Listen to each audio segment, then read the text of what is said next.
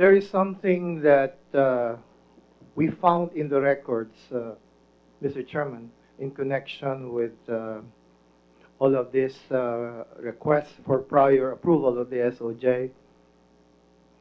Um, there was this uh, letter coming from the Bucor sometime in 2018 requesting that uh, the authority to release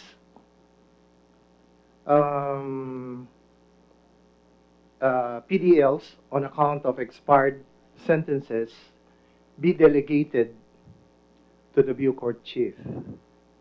I was unaware of this letter until fairly recently. Who signed that request, sir? I think it was signed by, uh, I, I don't have this letter with me, uh, uh, Mr. Chair, but uh, somebody definitely, a uh, higher authority from the Bureau of Corrections requesting that it be delegated, that, that, that power, that authority.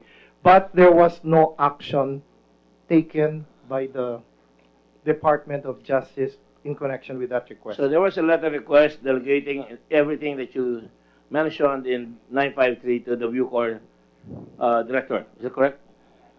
According to uh, the draft memorandum addressed to me, this was only a draft, but it made mention of a memorandum dated June 4, 2018, from USEC Ronald Dela Rosa, Director General Bureau of Corrections, requesting for the grant of authority for the Director General to approve or act upon the following requests enumerated in Department Order 953. So, nakalista, but uh, the first and foremost is the release of PDLs with expired sentences. No action was taken by the department on this. we get a copy of that, sir? The letter itself uh, will uh, try to secure a copy.